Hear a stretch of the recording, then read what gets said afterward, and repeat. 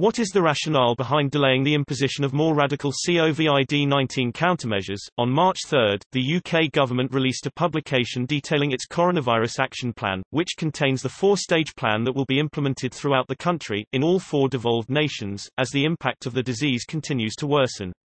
Below is a brief summary of each stage, contain, identify cases as soon as possible, and attempt to prevent wider community spread of the virus. Powers have been given to enforce quarantines and extra funding granted to healthcare centers. The goal is to stop the virus from taking hold in the country, delay, if containment does not work, measures such as closing schools, banning large gatherings, and incentivizing working from home will be introduced.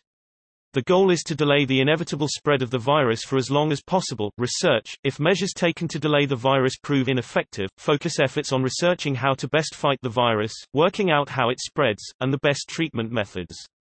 This includes research into vaccine development and deployment, mitigate, the last resort scenario. At this point the government will focus on keeping essential services such as police, fire, ambulance functional, as well as bringing retired and newly graduated doctors to the front lines. At the moment, the UK government insists that the country is still in the containment phase, despite the country's chief medical officer and the government's chief medical advisor, Professor Chris Whitty telling MPs as early as March 5 that the UK was now mainly in the delay phase. At first glance, the government's refusal to move to the delay phase, despite 460 total cases and confirmed community spread, seems stubborn and almost deluded. However, the Scottish Cabinet Secretary for Health and Sport, Jeane Freeman, told MSPs after attending a COBRA meeting on the 10th that the timing of moving into the delay phase and what measures ARE judged to be the most effective in that phase must be and are driven very firmly by scientific and clinical clinical advice.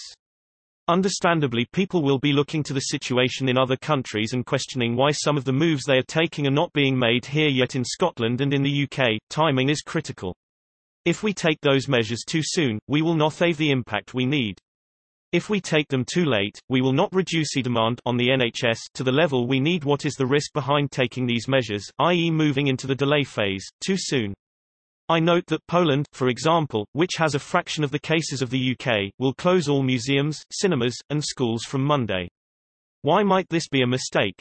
Is there any research that has evaluated this? Note that although the example I have given is UK-based, I am also interested in answers that refer to the general postponement of more extreme countermeasures internationally.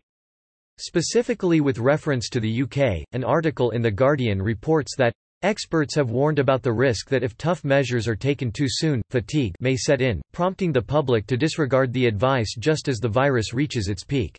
Effectively the argument is that, absent some sort of enforcement squad if people are told to stay in lockdown for a significant period, without a significant scare factor to justify it, then people will assume the risk is actually overblown and start mingling again, just at the moment that many of them are at their most contagious, starting a whole new outbreak in the herd of uninfected.